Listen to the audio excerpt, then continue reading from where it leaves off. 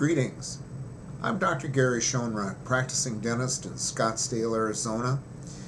Um, as part of uh, me giving back to uh, dentistry, I do a lot of lecturing every year on simplified dental techniques, oh, crown and bridge, cosmetic dentistry, and materials and techniques are making wonderful strides these days, making things ever more practical and ever more comfortable for our patients. But what I always tell the folks that I lecture to is that patients really don't realize what good dentistry is or bad, but they sure do know one thing when they're being hurt. And I think this video will show you a little bit about how to buffer your local anesthetics, how to keep them from being so acidy when they're being injected. And the advantages of that is there's much less discomfort involved.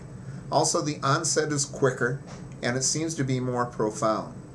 So if you'll watch this movie that I have here, I think you'll get a little insight about how to do this cheaply and how to do this very effectively in your own dental practice.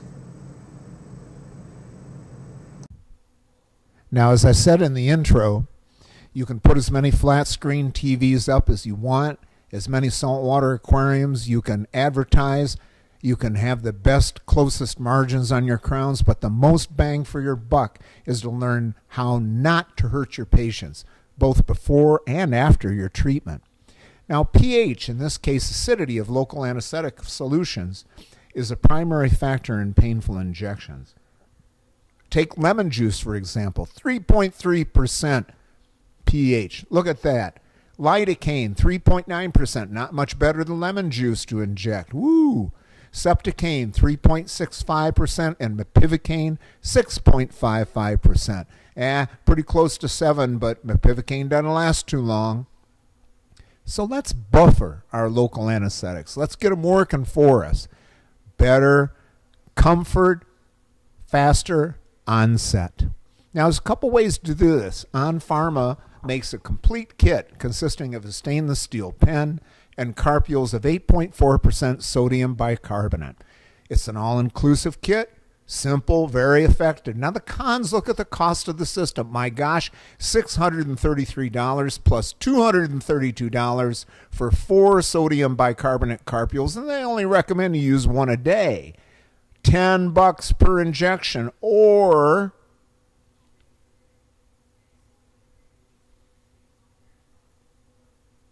You can do it yourself.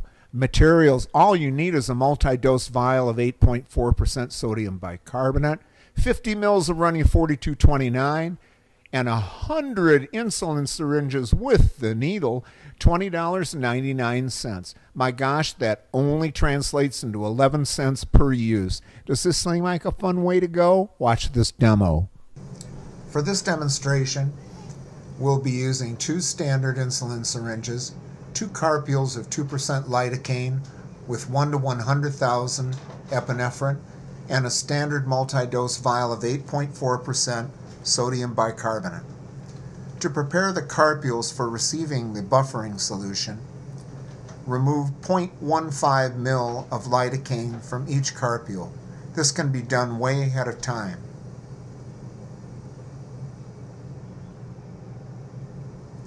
Now with the second insulin syringe, remove 0.15 ml of sodium bicarbonate from the multi-dose vial. More can be withdrawn if more carpules are to be prepared. Remember that you must not buffer the carpules more than two minutes before the injection is given.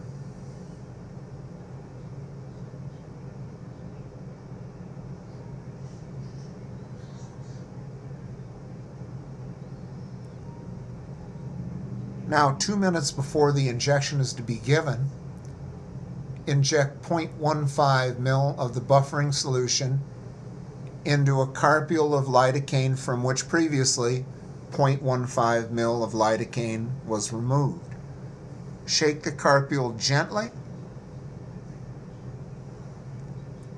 then load in your standard aspirating syringe and inject as per usual.